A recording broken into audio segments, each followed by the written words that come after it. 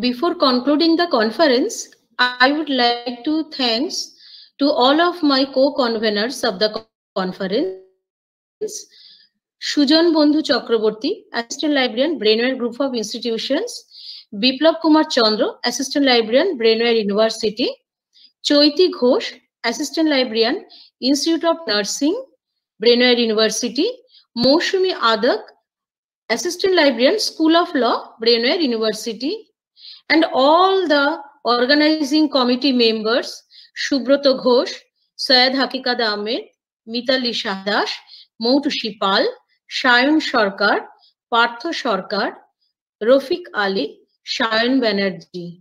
All of you, thank you very much. Thank you.